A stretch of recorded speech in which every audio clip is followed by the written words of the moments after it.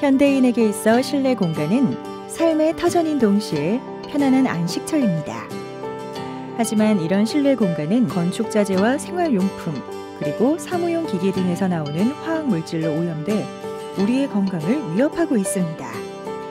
그럼 어떻게 해야 우리는 마음 놓고 편안하게 숨 쉴 수 있을까요? 그 답은 바로 여기 살아있는 공기청정기 실내 식물에 있습니다. 특히 우리나라 연구팀은 식물들이 공기 오염의 주범인 휘발성 유기화합물을 어떻게 그리고 얼마나 정화시킬 수 있는지에 초점을 맞춰 연구하기 시작했습니다.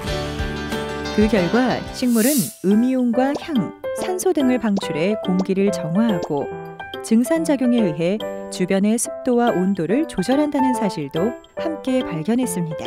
우리 연구팀이 추천하는 실내 식물은 다음과 같은데요.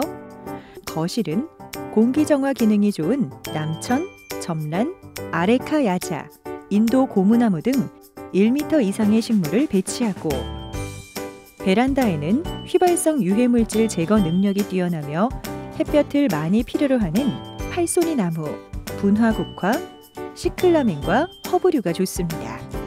침실에는 이산화탄소를 흡수하고 산소를 배출하는 호접란과 선인장, 다육식물이 그리고 공부방에는 음이온 발생이 많고 이산화탄소 제거 능력이 뛰어난 팔손이 나무, 개운죽, 로즈마리를 두는 것이 좋습니다. 마지막으로 일산화탄소 배출이 많은 주방은 음지에서도 잘 자라는 스킨답서스와 안스리움이 그리고 화장실에는 각종 냄새와 암모니아 가스를 제거하는 관음죽과 테이블 야자를 두면 큰 효과를 볼 수 있습니다.